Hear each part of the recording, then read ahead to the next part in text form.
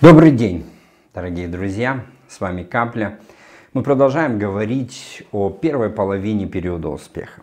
Еще одно слово, которое очень хорошо характеризует э, нас в этот период, это страстность. Период, когда человеком в большей мере э, управляет желание.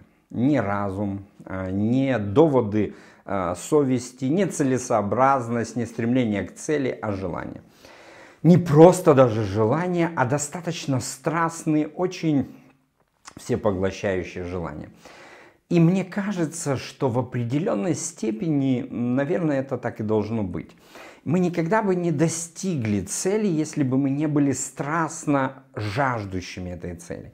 Это касается вопросов семьи. В это время, а, когда влюбленный мужчина, он изо всех сил страстно желает получить эту женщину, эту девушку, он прилагает невероятные усилия, совершает невероятные подвиги ради этого. Это же касается вопросов карьеры, служения, а, служения в обществе и, наверное, любой сферы жизни. В этот период практически каждый мужчина характеризуется как страстный, то есть человек желания, и э, человек, который умеет подчинять достижению главного своего желания все остальное.